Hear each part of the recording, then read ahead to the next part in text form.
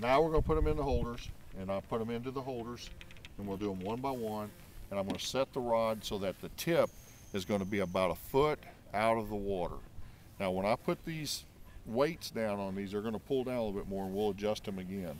But let me put them out here and show you what eight rods looks like in these rod holders. Now these individual rod holders are real, real important that they're independent.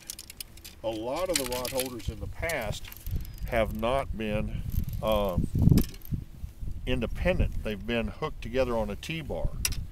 And a T-bar is nothing more where they come up with one stem from the floor, usually screwed into the floor, and what will happen is you have all your rods on one stanchion. When you get a bite on one rod, it shakes all of them. So you think you got a bite on all of them.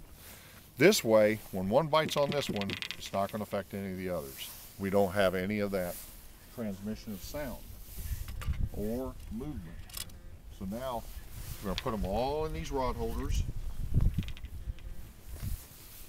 Now this can take a little bit of time when you're each time you're setting up. So you don't want to do like we do with bass fishermen where we move spot to spot all the time. With this technique, you're going to have to be a little more patient. So when you set up in an area, make sure that the area is where you think you can catch fish and that there's other spots in the area that you can fish. Brush piles, any stumps, any kind of cover, it's under the water. Those crappie like to get up beneath those things and around those things because there are bigger fish out there that like to eat them, like catfish and stripe and everything else. So they have to get where they can hide. Anything that has cover in the water is what you want.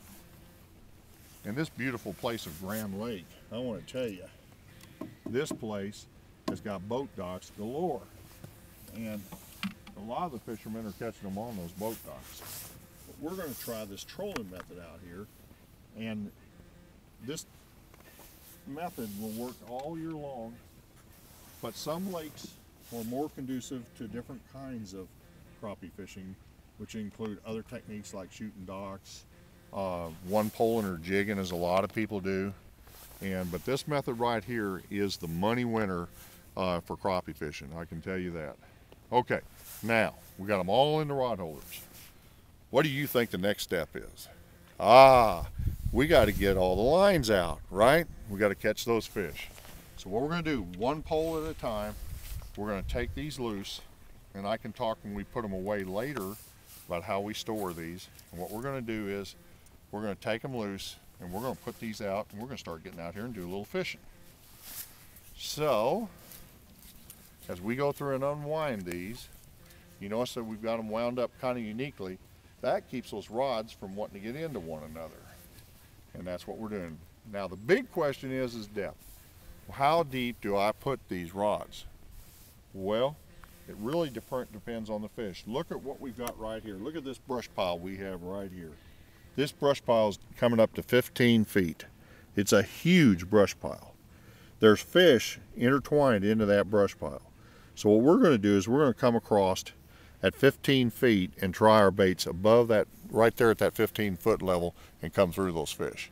If we don't get them above it, then we'll come through it and bump the brush pile. Now you'll get hung up, so when you do, don't troll over it, bump up against it and then back off of it. Those fish that are down inside the brush pile or on the edges will bite when you do that. So we're gonna get these out now and get all the fishing out there for you.